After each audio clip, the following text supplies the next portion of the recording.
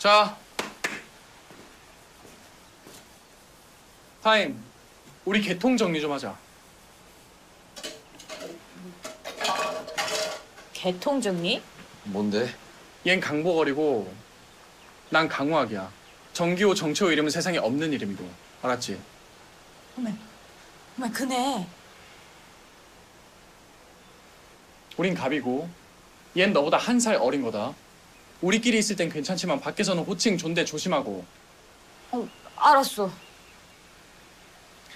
그리고 마지막으로 두 사람 감정이 어릴 때 애틋했다는 건 일련의 사건들로 잘 알았고 어떻게 그 감정 지금까지 유효한 건가? 어머, 어머 아니 아니요 아니요. 어, 난 유효해. 지금까지. 아니면 이상하잖아. 어떤 미친놈이 아무 감정 없는 사람을 15년이나 찾아? 그치. 오케이 접수. 근데 이것도 개통정리야? 그럼 자 설거지 마저 하자. 돌아.